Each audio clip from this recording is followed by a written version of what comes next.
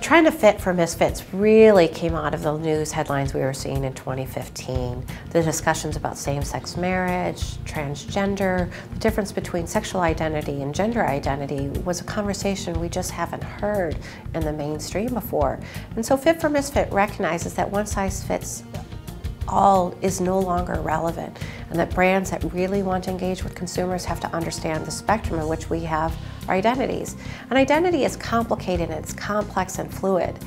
As I sit here today, I think I'm a businesswoman, you know, I'm a futurist, but I'm at home, I'm, a, you know, an unorganized mom who hasn't done her grocery shopping or done the dishes and laundry needs to be done. But it's very fluid and it changes from day to day.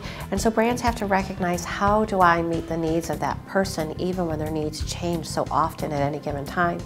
And even in an institutional side, it's interesting the rise of contrarian points of view. Organizations tend to find they hire or recruit people that have a good cultural fit. But that sometimes means it's about bringing together people that think alike. But if you're going to take on complicated or creative type of work, you need some dissenters. You need people that are going to challenge your point of view. And that's really what we're celebrating in the Fit for Misfits.